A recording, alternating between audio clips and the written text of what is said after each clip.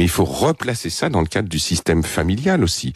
Euh, J'avais encadré une conférence sur euh, euh, l'impact des images pornographiques sur la sexualité adolescente, et j'avais que des parents en face de moi, et je les ai d'abord questionnés sur eux leur lien à l'image pornographique, parce que il faut aussi regarder ça d'une manière euh, d'une manière systémique et, et, et accepter aussi que que, que l'adolescent a son propre monde, que l'adulte aussi, et c'est comment ces mondes-là sont en dialogue, sont en partage et sont en communication. Euh, mm. C'est c'est ce qui disait, c'est ce qui se disait auparavant et de manière très juste dans dans, dans votre émission tout à l'heure, c'est-à-dire euh, nous ne pouvons plus être dans un monde où la parole parentale très patriarcale serait pyramidale et il faut entendre ce que les ados ont à dire.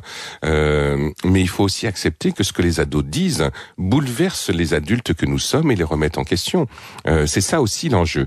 Euh, c'est pas simplement l'adulte qui sait et l'adolescent qui, ne sait pas. L'adolescent, il a aussi son propre savoir sur l'amour, sur la sexualité, sur le lien lui-même, à son corps et aux autres. Et, c'est ce dialogue-là qui va être qui va être enrichissant, bien entendu.